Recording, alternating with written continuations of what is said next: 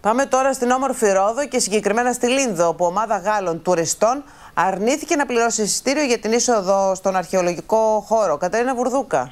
Πριν λίγες μέρες, Ελένη, οι Γάλλοι τουρίστες που παραθερίζουν ε, στη Ρόδο επισκέφτηκαν τον αρχαιολογικό χώρο της Λίνδου, πέρασαν από το Ταμείο του Αρχαιολογικού Χώρου, αρνούμενοι να ε, περιμένουν στην ουρά για να βγάλουν το εισιτήριό τους και επιχείρησαν να μπουν μέσα στον ε, αρχαιολογικό χώρο χωρίς να βγάλουν εισιτήριο.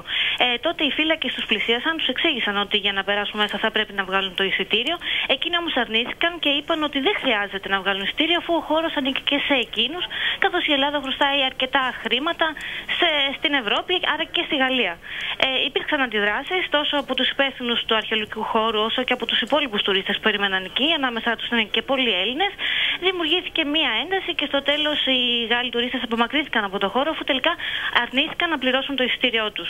Ε, Δυστυχώς, Ελένη, να σου πω ότι αυτό δεν είναι μεμονωμένο περιστατικό, όπως μας είπαν και εργαζόμενοι στον αρχαιολογικό χώρο, αφού κάθε χρόνο υπάρχουν κάποιοι τουρίστες από διάφορες χώρες, ε, Γερμανία, Ολλανδία κλπ., που αρνούνται να πληρώσουν το εισιτήριο. Δεν ξέρω αν είναι ψαγμένοι τουρίστες ή απλώς τζαμπατζίδες. Ε, Κατερίνα Βουρδούκα, σε ευχαριστώ πολύ.